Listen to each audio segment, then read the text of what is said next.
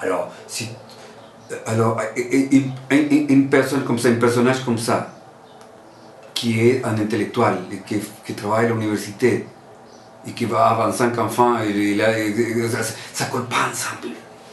Ça ne va pas ensemble. C'est pour ça qu'elle m'a dit qu'être rumbero, c'est ça, c'est un côté marginal qui, au niveau musical, c'est très beau. mais la musique a plu à, tous les publics. Et pourquoi? Parce que, parce, que c'était les Noirs qui travaillaient dans les ports de Matanzas, qui n'avaient pas, même pas d'instrument, et il avait des moments libres. C'est comme le Congo Square. Mm-hmm. on, va, on, va, avoir, on va avoir un on n'a même pas d'instrument, qu'est-ce qu'on fait? On met ça, on commence à jouer, mm. voilà, on travaille les jours, on, on décharge ces bateaux-là, on tient, on, ça ressemble au... Pas d'école, pas, pas, de rien. Ça ressemble au gitan aussi. Ça, ça ressemble au gitan aussi. Tu vois, alors, et ça existe. Ça existe. Mm-hmm. Et musicalement, juste pour terminer rapidement, euh, la rumba, comment elle se distingue? La rumba, c'est des instruments de percussion, tumbadoras, différents instruments de percussion, des palitos au kata. C'est une espèce de stand avec, avec, avec un bambou. un bambou qu'on joue avec pelito taca taca taca taca ça commence la rumba on danse la rumba ça dépend il y a les trois rumbas que je t'expliquais Jambu, Banco et, et Colombia et plein de gens qui jouent, disons 5, 4, 5 rumberos qui jouent de la rumba, coro. Que le coro, c'est les voisins, c'est les gens qui, commencent, qui sont là, qui commencent à faire la... Je, je, parle, je parle de la rumba spontanée, je ne parle pas d'un groupe de rumba, parce qu'il y a des groupes... Uh -huh. et, c'est tellement beau cette musique que, que, ça existe les ballets folkloriques nationaux uh -huh. dont on, on, on, travaille la rumba. Voilà, là c'est comme une pièce d'art. Oui, oui, alors c'est comme les ballets folkloriques de New Guinea. Yeah, yeah. Disons, c est, c est, on le fait un, plus, un, peu plus beau pour que ce soit un produit d'exportation. Sí. C'est un peu plus travaillé.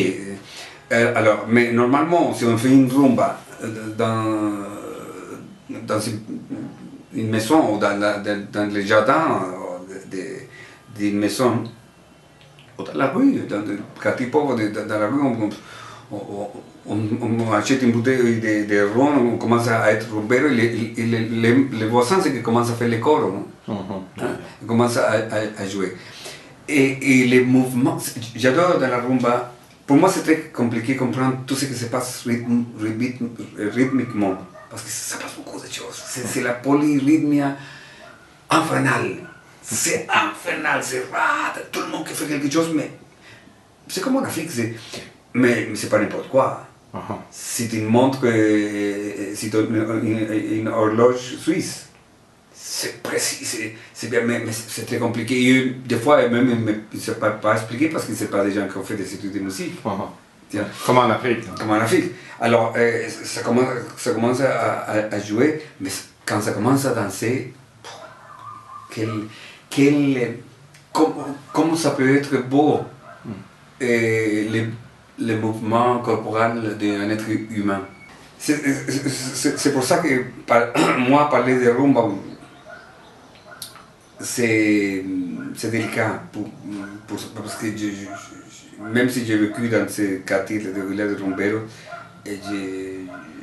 il y a beaucoup de, de, de, gens qui vont occuper pour, pour, pour être acceptés.